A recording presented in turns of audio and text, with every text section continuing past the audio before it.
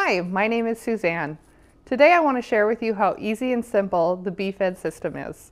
Once the bag is empty, reclamp the Bolink, disconnect from the feeding tube, and you're ready to clean your Bolee Bag.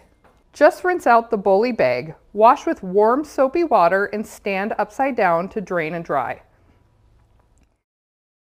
You should also flush the Bolink tubing in between uses. Just like that. I hope this was helpful. I really love this product. It's amazing, and I know you'll love it too. Click below and get yours ordered today.